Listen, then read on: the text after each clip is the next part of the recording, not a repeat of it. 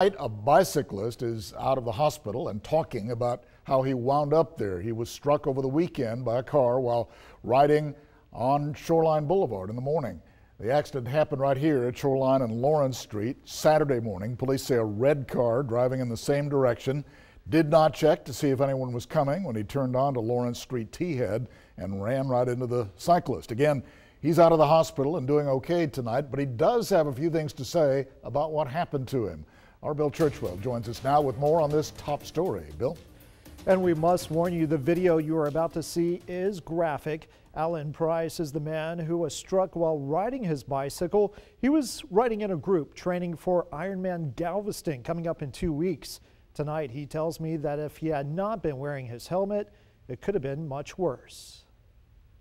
The visor is what I had down, and that's what saved me from losing my What started as a routine morning for cyclist Alan Price. Had a green light. The driver of the car indicated he was going straight. At the last minute, he turned to the right. Quickly turned into a ride he won't soon forget. I'd say Superman over the hood.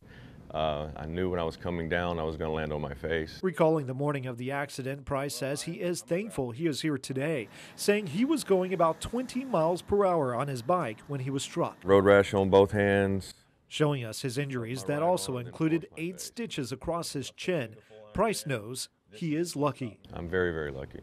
The driver of the vehicle who struck him getting a ticket for causing the crash. Price believes the driver made an honest mistake, but as he was in a hospital bed, banged up and bruised, a search online turned up the story on the accident and the comments from the public that came with it, some of them pretty nasty. Immediately after it was posted and reported, people started accusing me of doing something wrong. I was in a bike lane. Even if I was in the road, I was still legal. Price choosing to speak to us in hopes of changing the way some drivers think. I've had eggs thrown at me. I've had people buzz me with their cars, coming by us, honking their horns, trying to scare us.